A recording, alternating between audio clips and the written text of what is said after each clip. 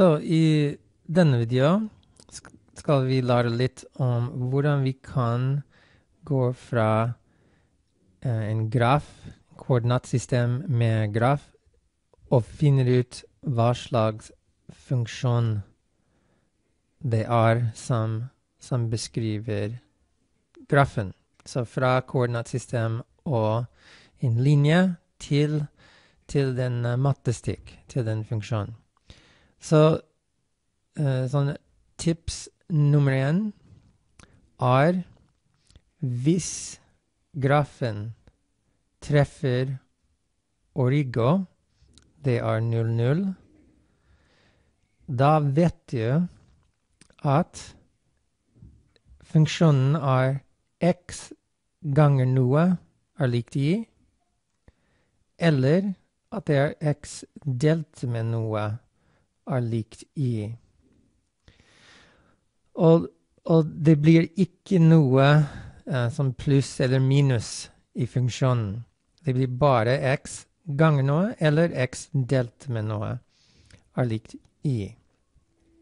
Uh, og det er fordi når du ganger uh, noe med null, så får du null, Uh, og da treffer vi den 0-0-punkt. Eller hvis du deler uh, um, Sorry. Hvis du, ja, hvis du deler null med noe, du også får null. Så, så de to tilfeller alltid gjør det at du treffer den 0-0-punkt.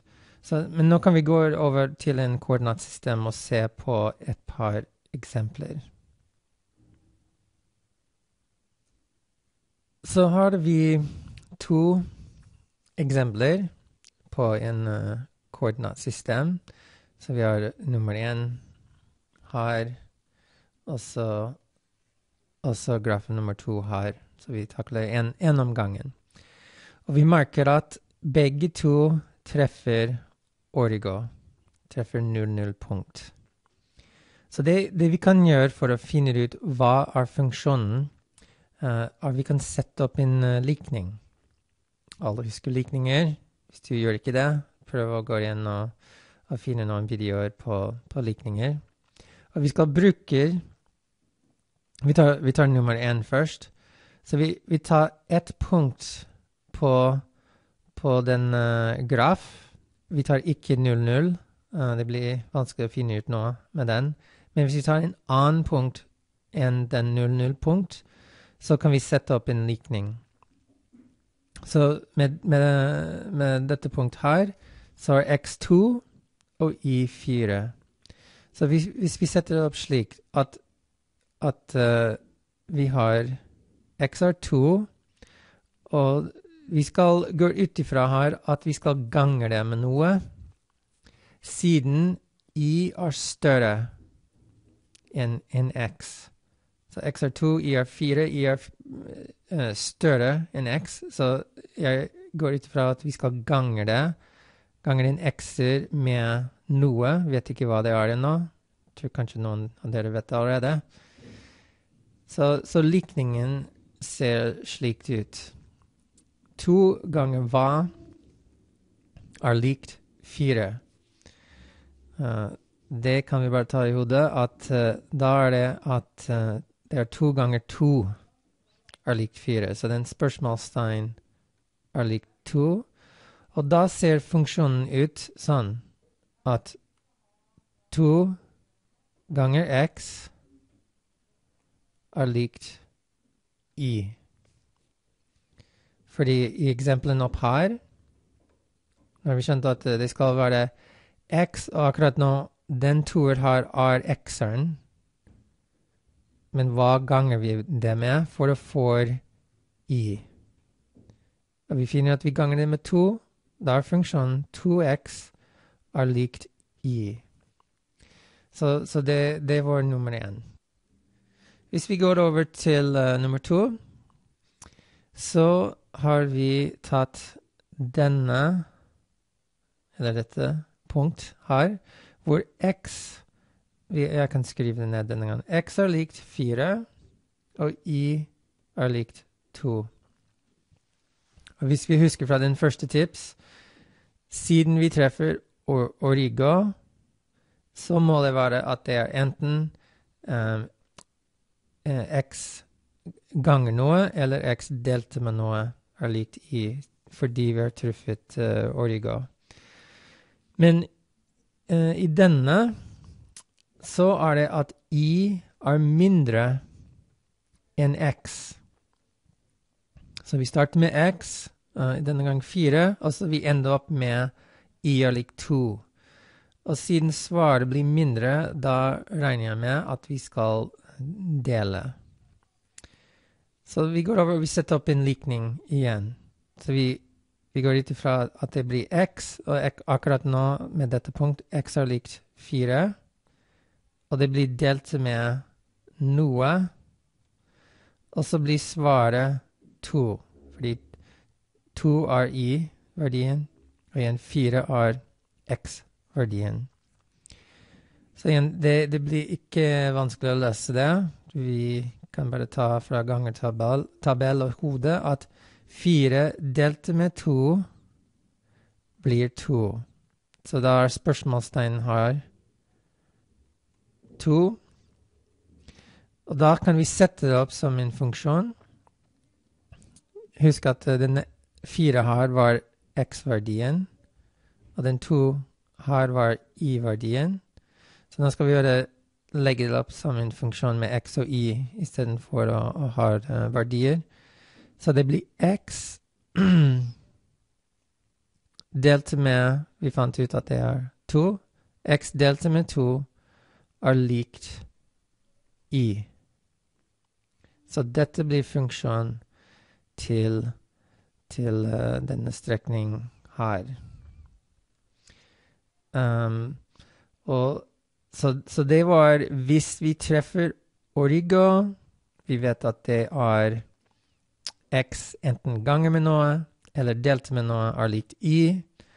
Og vi kan uh, bare sette opp en enkelt likning. Og vi får litt veiledning av punktene fordi i den første eksempel så i er større, så da går vi ut ifra at vi skal gange x med noe. Og i den andre eksempelen så i var mindre, så går vi ut ifra at, uh, at det blir x delt med noe er likt i. Sorry, jeg skrev den ikke helt ferdig. Det er funksjonen for eksempel nummer to. Så nå går vi videre til uh, en til uh, tips.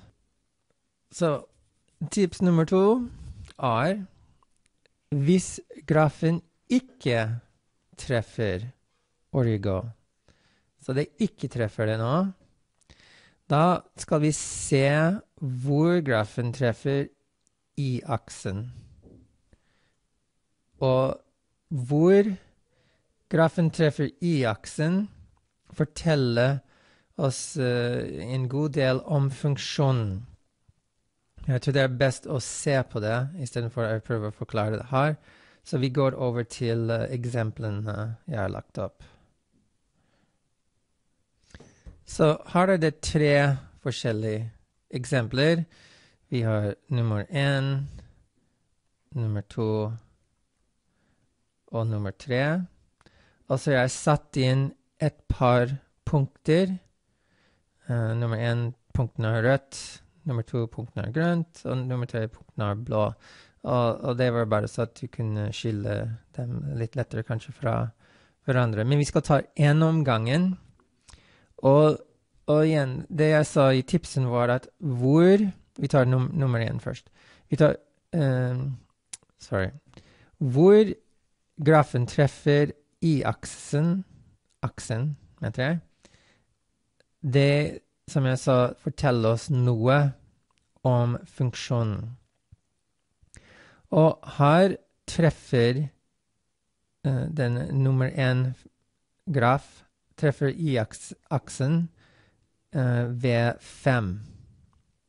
Og det det fortelles om funksjonen, at det blir x Og det kan være delte eller gange noe. Det vet vi ikke ennå. Så vi setter en spørsmålstegn her. Men vi vet av det treffer her eh, med fem, blir det pluss fem. er likt i.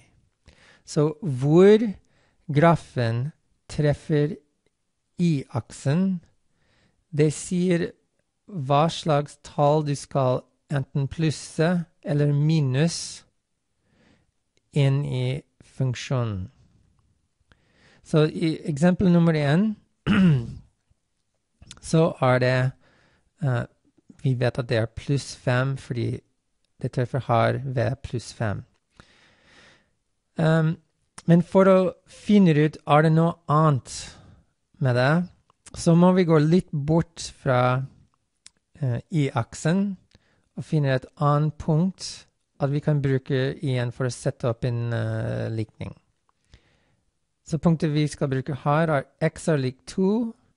Så jeg skriver over her. x er likt 2, og y er likt uh, 7. Så vi vet at vi har pluss 5 i funksjonen, men det vi skal finne ut nå, er, er, er det også ganger noe, eller delte med noe, pluss 5. Eller er det bare pluss 5? Så vi tar tallene, vi setter inn x. x er 2, og så vet vi at vi er Og vi vet ikke ennå hvis vi skal gange med noe. x er 2, og så har vi pluss 5 er likt, og i-verdien her er 7, er lik 7. Så hvis vi ser på det Well, 2 pluss 5 er 7. Så, så vi skal ikke forandre på den x-verdi nå. Vi skal ikke enten dele eller gange x-verdien med noe, fordi vi trenger ikke det fordi 2 pluss 5 er 7. Så da vet vi at funksjonen er x pluss 5 er likt y. Så vi først finner ut fra hvor den treffer y-aksen. Uh, er det pluss uh, noe eller minus noe? Og så finner vi ut er, er det noe ganging eller deling i tillegg. Og i denne eksempelet så var det ikke noe ganging eller deling i tillegg. Og nå kan vi ta nummer, nummer to. Nummer to treffer i-aksen ved to. Og det er jo positivt to. Så da vet vi at det blir x ganger eller delt med noe pluss to, fordi det er en positivt to er likt i. Og da går vi igjen bort fra i-aksen for å finne et annet punkt. Og her kan vi bruke to uh, seks, som betyr at uh, x er likt to, og y er likt seks. Så kan vi kom, komme over til uh, starten her og finne ut om det også ganger noe eller delte med noe. Så her er x-verdien 2. Så det kan være to ganger noe, eller delte med noe, pluss 2 er likt i, og her er i 6. Da har vi en enkelt uh, likning å løse. Så hvis vi skal få den uh, spørsmålstegn alene på én side for å finne ut uh, verdien på det, så kan vi først uh, ta bort den toer. Så vi minus to her. Da må vi minus to på andre siden. Og da blir det fire her. Det blir ikke noe her. Og så blir det to ganger something. Og så for få spørsmålstegn alene, så kan vi dele med to her. Dele med to på andre siden.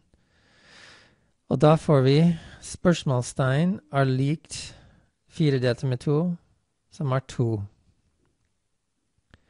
Så husk at en spørsmålstegn er en verdi som vi skal sette inn opp her i funksjonen. Så hvis jeg skriver funksjonen nå ferdig, det blir to ganger x pluss to er likt i. Så det, det var igjen denne um, graf har nummer to. Og funksjonen til slutt er 2x pluss 2 er likt i. Du kan egentlig slippe de parenteser. Bare skrive Sorry. Bare skrive 2x pluss 2 er likt i. Så vi ser på hvor grafen treffer i-aksen. Det gir tips om at vi har da en pluss 2 i funksjonen.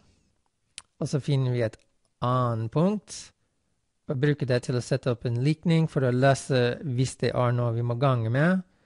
Og når vi finner det ut, og har var det 2, så var det 2 ganger x pluss 2 er likt y. Og nå kan vi ta den uh, siste eksempel. I den uh, siste eksempel, nummer tre, så det blir helt likt med de andre to, men det er en liten ting som er annerledes, og det er at uh, at uh, grafen treffer y-aksen ved minus 5. Og, så det eneste er at da vet vi at i funksjonen så blir det x kan være ganger noe, eller delt med noe, men det blir minus 5 er likt i. Så ellers er det samme, men vi må uh, ta med at det er minus 5 og ikke bare 5.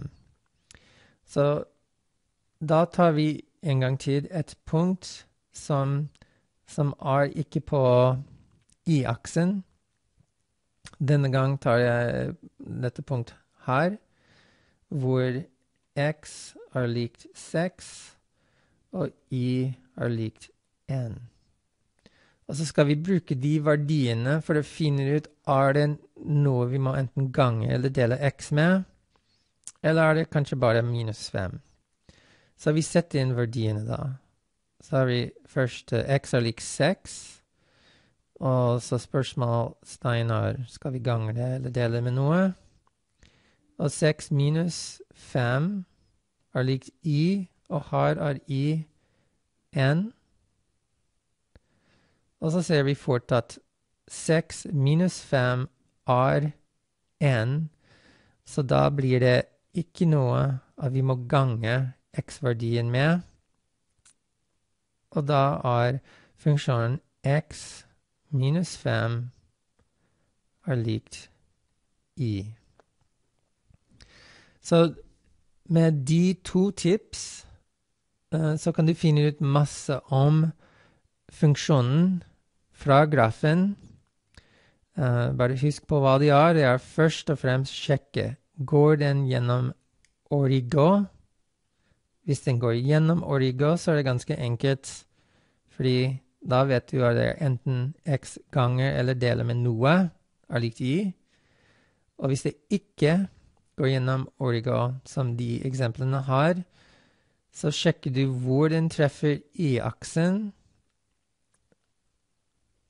og, og, da vet du at det er enten pluss eller minus verdien på y-aksen, aksen, hvor den treffer det. Og så tar du et punkt som er ikke på aksen, for å finne ut er den uh, gange eller er x ganget eller delt med noe i tillegg til den pluss eller minus. Og sånn kan du finne ut funksjonen fra grafen. Hvis du er etter flere mattevideoer, husk å besøke vår kanal Mattehjelp9. Og her kan du finne våre videoer organisert i spillelister for forskjellige temaer i matte. Kanalen er uh, under bygging, så vi legger ut videoer uh, litt og litt. Sluttemålet er å, å få dekke hele 8., 9. og 10. pensum.